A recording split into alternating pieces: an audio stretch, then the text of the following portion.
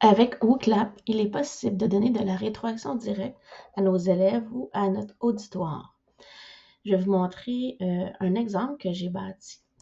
Donc, ici, j'ai vraiment euh, utilisé euh, juste la fonction qui est ici, texte à trous. Donc là, je vais faire afficher ce que j'ai fait. Et avec WooClap, ce qu'on sait, c'est que l'auditoire ou les élèves ben, se connectent de façon anonyme. Donc, ils vont rentrer ce code-ci et on ne verra pas qui euh, a répondu quoi à, notre, à nos questions. Donc là, c'est la façon euh, qu'on peut voir le visuel de l'élève ou de la personne qui se connecte. Et elle va devoir remplir euh, ici les parties. Donc, euh, elle doit remplir euh, les trous par le mot numérateur ou dénominateur.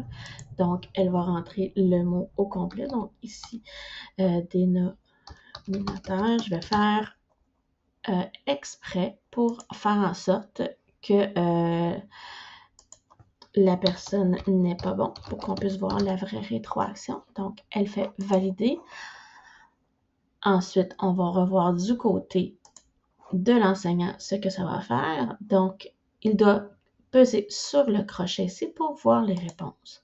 Donc, il peut voir qu'il y a 0% des personnes qui ont répondu la bonne réponse à la question 1 et à la question 2, même chose. Donc, la personne, l'élève va pouvoir, avec la rétroaction en direct, ce que euh, l'enseignant va dire, euh, pouvoir valider ou voir s'il a bien répondu à la question ou pas.